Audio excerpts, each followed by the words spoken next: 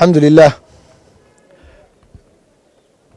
in badan baynu dee sugnay su'aal ay ahayd goormuu suuqa iyo dibudhiskiisa goormuu bilaabmayaa waxaa ilaahay mahadiya maanta inay dib u bilaabmayso dibudhiskii suuqan waaheen.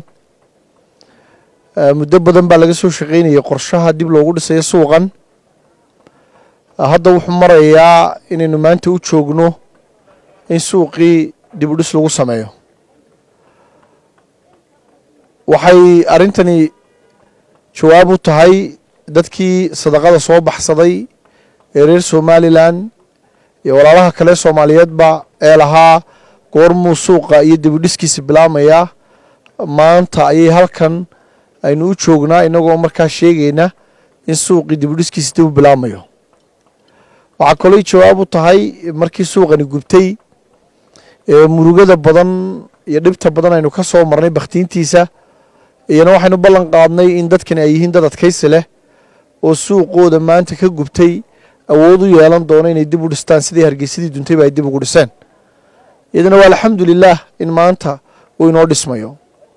Hubaal weeye suuqan inuu noqon doono suuq. Kii hore aada uga casrisan oo aada uga qurux badan oo aada iyo aad iyo aad waddooyinkiisii balballaadhnaa imakaba aynu arkayno ee la dhex degay aan dib loo dhex degi doonin. Ee albaab weliba albaabka ka soo horjeeda uu eegi doono si markaasi halistii maalintii hore inoogu dhacdoo kale aan inoogu dhicin. Mar qaran baa layaho go'aan qarankaa go'aan gaadha marna shacab baa layaho qofka ayaa cod leh. Marka ugu dambaysa ee qaranku go'aan gaadho waa in la ixtiraamo. Go'aanka qarankana qofna ma hor istaagi karo. Waxaa go'aanku yahay suuqan inuu dhismo oo uu ku noqdo sidiisi iyo si ka qurux badan waayo hargeysa ma sugi karayso in suuqa waaheen uu sii xidhnaado. Hargeysa waaheen bay ahayd. Waaheen oo sii xidhnaataana waxa weye dhaqaalaha magaalada hargeyso sii xidhnaada.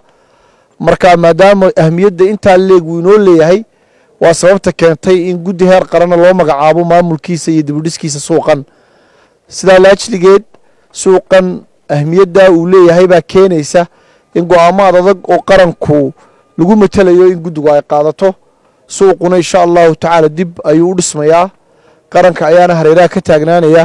Waxaana rajeynaynaa shacabka reer hargeysa inay gacan weyn ka geystaan sidii suuqan dib loogu dhisi lahaa.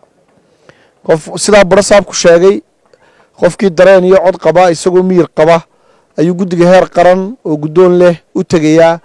Laakiin shaqada halkan ka socotaa ma hor istaagayo qofkaasi hadduu shaqada hor istaago dembi buu qarankan ka gelayaa. Sharcigaana markaa qofkaa dil horgeyn laakiin qofku dareenkiisa iyo codkiisa uu maaragtay guddigu albaabkeeda iyo daaqadihiibu waa u furayin oo u iman karaa.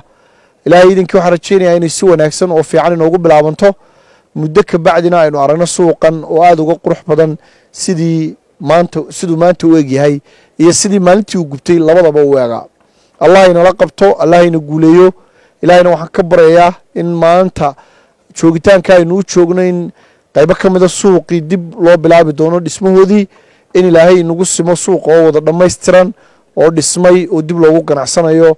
Si markaasi ilaahay aynu ugu xamdi naqno aynu u nahno ilaahii gubay ayaa nala qabtay oo dib noogu dhisay. Wasalaamu calaykum waraxmat ullaahi wabarakaatu